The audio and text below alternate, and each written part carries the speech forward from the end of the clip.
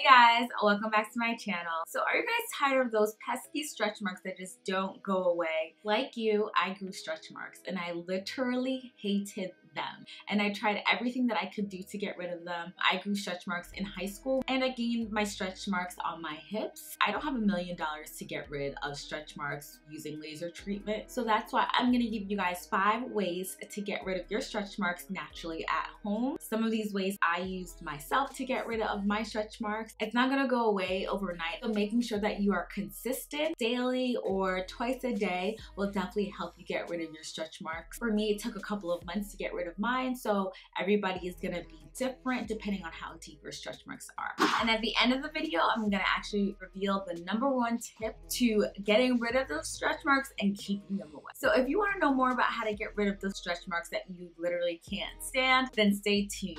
So stretch marks form when we either gain too much weight rapidly or actually losing weight. And I've actually referenced that in my last stretch mark video. So I'm just gonna go straight into the tips because I know you guys wanna hear what I have to say. Uh, tip number one, castor oil. So I know you guys are thinking, why am I gonna be using castor oil on my stretch marks? But castor oil is really amazing because it's actually used a lot to treat skin diseases. And it actually has a skin conditioning agent in it that actually helps, you know, fasten the healing process of your skin after you get stretch marks. So you want to make sure that you are rubbing the castor oil on your stretch marks, whether it's your arms, your hips, your butt, wherever it is, you want to make sure that you're rubbing the castor on your stretch marks for about five to 10 minutes. Also good to pat it in so it's really penetrating into your skin or rub gently, like really massage. Don't rough house your skin because you're just not going to get anywhere with that. So after you're done massaging, you're going to want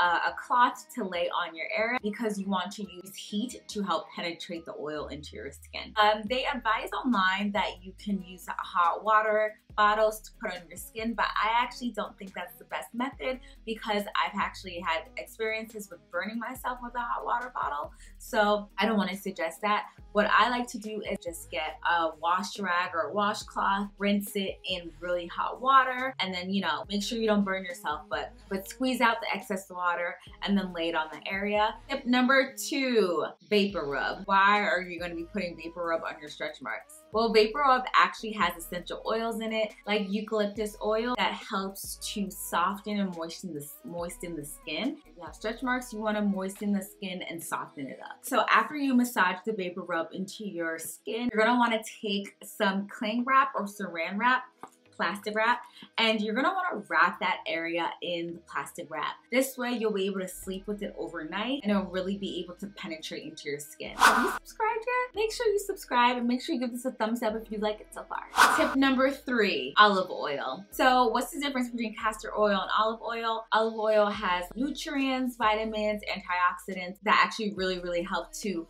make your skin more healthy, make your skin more smooth, soft, glowy, everything. So you definitely want to use olive oil while you are trying to help repair your skin after a stretch mark damage. Like I said in my other video, if you guys watched, I like to use olive oil and use Eucerin moisturizing cream.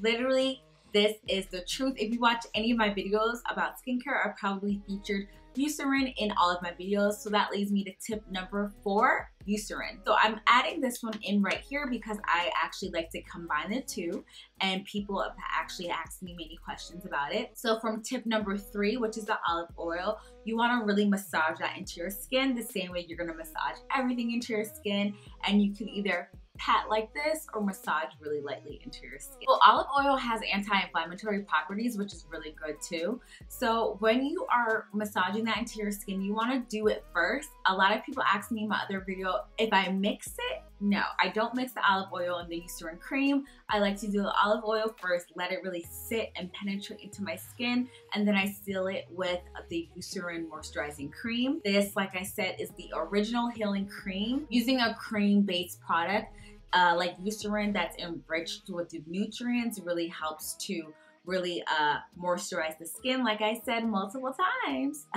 No, it really helps to, you know, revamp the skin. And it's, I also have this in my Amazon store and actually most of the products that I'm talking about are on my Amazon store like account page. So I'll link that below so you can go directly to that store. Definitely buy this with caution because if your skin is prone to acne like other places in your face, then this might not work for you. Tip number five, coffee scrub. So I've actually used coffee scrub before for my face to get rid of the under eye bags and dark circles, but you can actually use coffee scrub to uh, get rid of your stretch marks. I actually haven't used this one before, but I actually researched it and it seems like a real viable way helping reduce the appearance of your stretch marks. But so what coffee grounds do is stimulates the blood flow and circulation and then it helps with the regeneration process of your skin. So you could use coconut oil or olive oil to mix into the coffee grounds. So you want to take um, equal parts, a half coffee coffee grounds and half coconut oil or olive oil and you want mix it up to make yourself a scrub.